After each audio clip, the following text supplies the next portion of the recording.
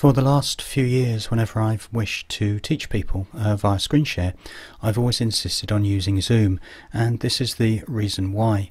It's not only a crystal clear screen sharing experience, but there are some amazing annotation tools, and this is how they work. So on screen at the moment you can see that I have a bar which I can move around. This is the main Zoom dashboard. You can see audio, video and at the top here on the right hand side is annotation. I'm going to click that.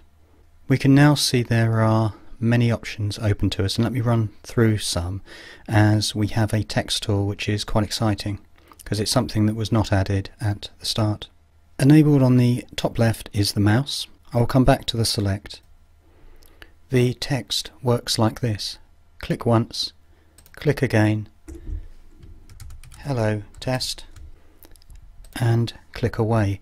Then we can come back to the select tool, click once, and move wherever we wish to go. Then we can see we can draw as we wish to as well. Here are a couple of boxes. You can shade those in. And then also, if you wish to spotlight the mouse has a lovely little red laser pointer and some arrows, eraser and colours.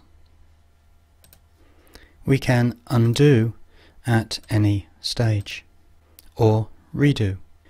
One last thing, back to the drawing we can see that there are some arrows and also I particularly like the ticks and crosses with one other pointer that does stay on screen.